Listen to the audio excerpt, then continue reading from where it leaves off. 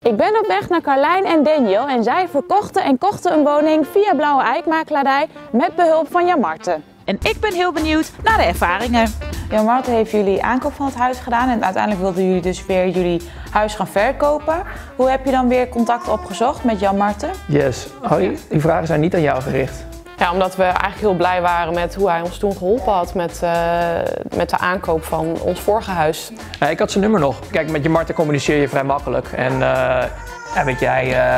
Ik denk dat ik Aaf maar even eruit... Moeten we dat even filmen voor de continuïteit? Echt hè? Wil je erbij? hey, wil je erbij? Oh, gezellig. Oh, Aaf, blooper video. Nou, ik had sowieso zijn 06 in mijn telefoon. Um, ik weet nog in die tijd ervoor dat hij veel met WhatsApp ook communiceerde. Dus op zich ging het ook gewoon prima.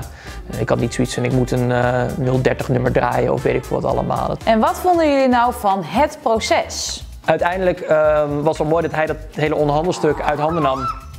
Ja, dat vond je ook mooi.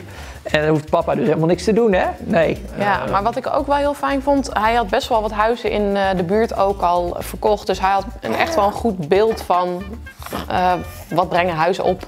En wat zijn pluspunten en uh, ja. Ik zie ons als een team. Ja.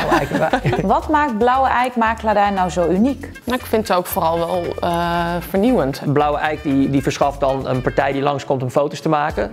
Uh, en ook wel leuk, want volgens, wij, wij kenden het helemaal niet, maar deze partij die deed het ook met allemaal 360 graden ja, foto's. Ja, dat was echt heel leuk. Ja. Een soort van VR-tour door ons huis. Ja. Dat was wel tof. Het was ook echt leuk om je huis even weer zo terug te zien. Ja. Wat zeg jij ervan, Aaf? Ah, vindt het allemaal prima, denk ik. Ja, ik denk niet dat wij voorlopig weer gaan verhuizen, maar nee. ik, zou het zo weer, ik zou het zo weer doen. Ja. ja we hebben eigenlijk nu dus drie trajecten met ze ja. doorgelopen en ja, alle drie de keren gewoon heel uh, positief.